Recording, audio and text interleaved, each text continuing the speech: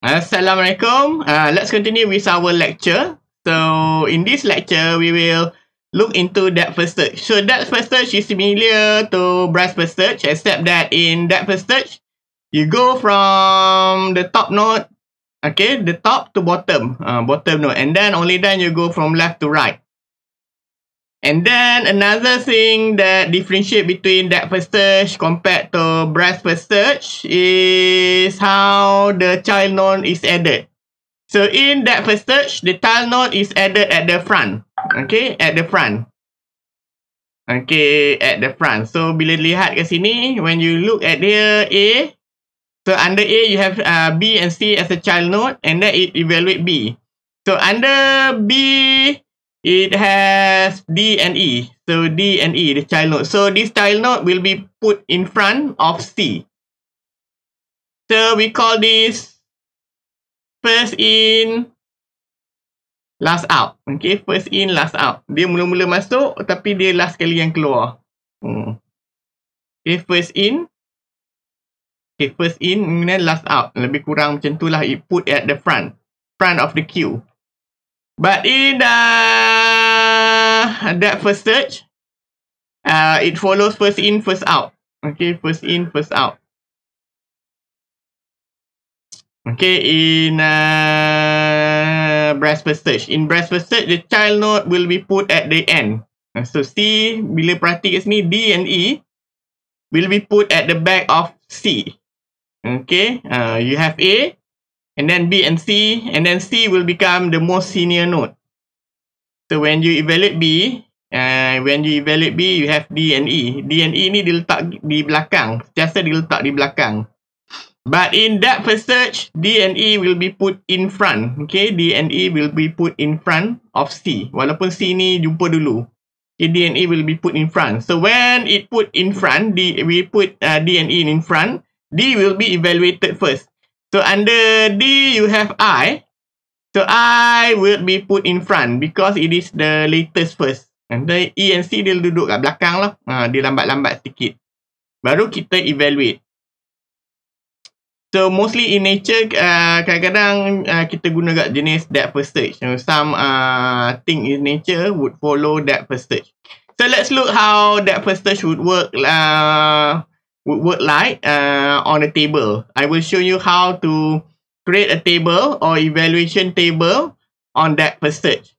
Okay, first and foremost, uh, I'm going to take the screenshot uh, so it would be easier for us to uh, learn. Okay, so here is about okay that first search. Okay, I'm going to write this that first.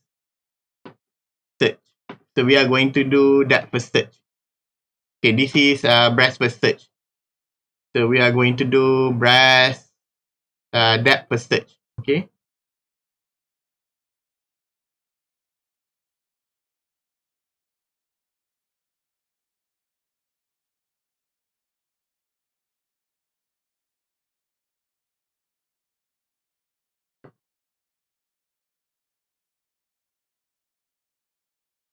Okay, fine. Okay, the question, uh, simulated question would be find the goal node Q.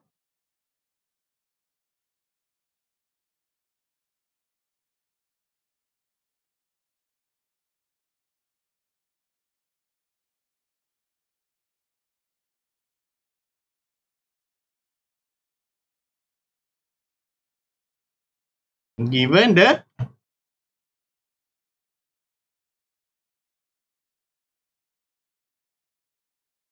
start node A. Okay, uh, let's try to do this. So we always have uh, three uh, column, eval, uh, open, and close. So we always start with an empty node. So open, you open with A. Uh, close none. And then you eval A. So under A, you have B and C. So under A, you may have B and C. So you close with A. So then you have B. So under B, you have D and E. Because D and E is the latest, we put it in front. Okay, in that first search, you put uh, uh, the latest not in front.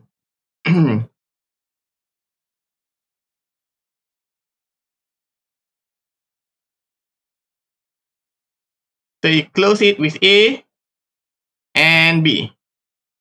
So then you start with D. Under D, you have I, E, and C. So A, B, D, and you close. And then next you have I. So I, under I you have O. And then you have E and C. And then you have A, B, D, I. So next you have O. So because O is the leaf node, it does not have a child node anymore.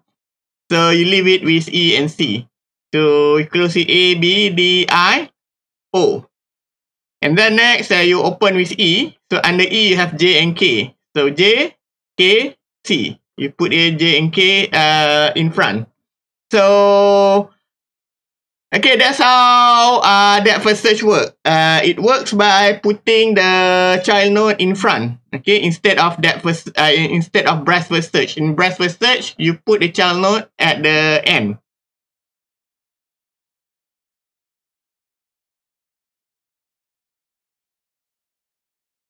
So, and then you evaluate J, and then J does not have child. So, dia tak ada child, this is a leaf node.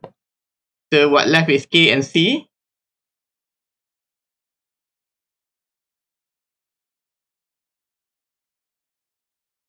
Have K. So, under K pun dia tak ada apa-apa. So, you only have uh, leaf with C. So, you have A, B, D, I, O, E, J, K.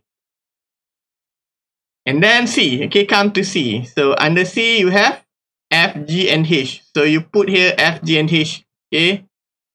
Just follow the sequence A, B, D, I, O, E, J, K, C. And then start with F. Okay, follow the sequence left to right. So under F, you have L and M. We put here L and M. L, M, G, H. Okay, L M G H A B D I O E J K C F. So next, uh, you run with L. So under L, you have uh, P. So put your P, M G H. So A B D I O E J K C F. Okay, L.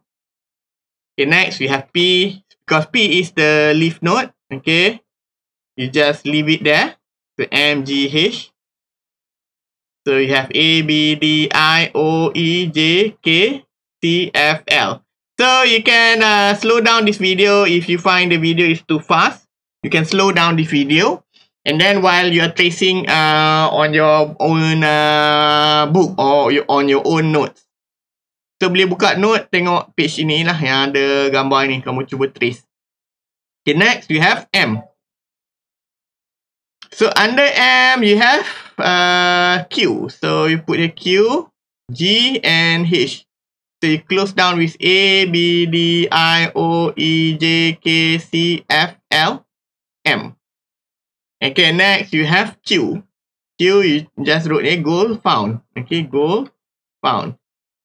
So this is how you do the question. You answer the question of uh, uh, that first search. Okay, that first search.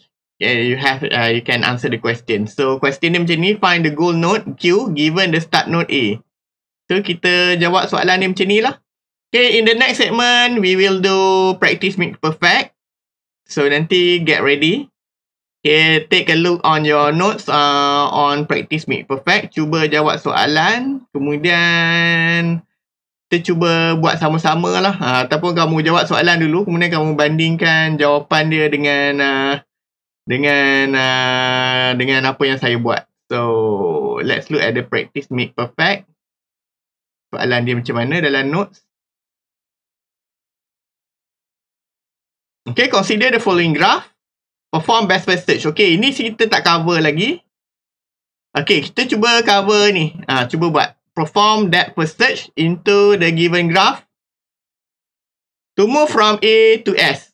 Okay, to move from A to S. Okay, A to S over here. Goal. So, sekejap lagi nanti kita akan buat uh, on the next uh, segment. So, until now, uh, cuba buat latihan ni dulu. Kemudian nanti kita akan discuss balik.